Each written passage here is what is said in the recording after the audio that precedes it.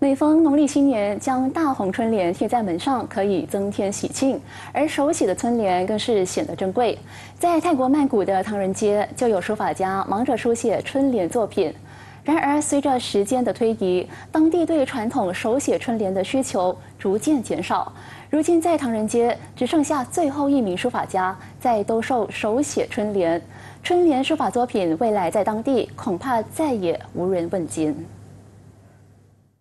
เรามีแต่ลูกสาวลูกสาวเขาไม่เอาเราก็ไม่เราก็ทำอะไรไม่ได้สืบทอดอะไรไม่ได้แล้ว เราก็มีแต่ลูกสาวเพราะคนที่มาเรียนเราก็ไม่อยากเรียนอย่างนี้เขามาขายริมถนนบางคนก็ไม่ชอบ เด็กวัยรุ่นก็ไม่ชอบเขาชอบแบบว่ามีหน้ามีตาแล้วแล้วอาชีพนี้น่าจะน้อยลงเรื่อยๆ มันก็เว้งเว้งๆกันนะให้มีคู่ต่อสู้ มีคู่ต่อสู้ก็มันดีเราเราไม่มีแล้วอะก็เหลือเราเจ้าสุดท้าย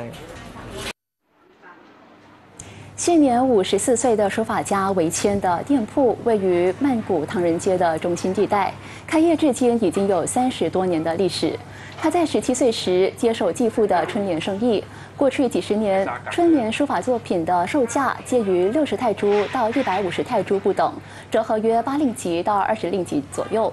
除了农历新年，春联也会在结婚和宗教仪式派上用场。随着人们对春联的需求越来越少。维谦也是少数在曼谷掌握书写能力的人之一。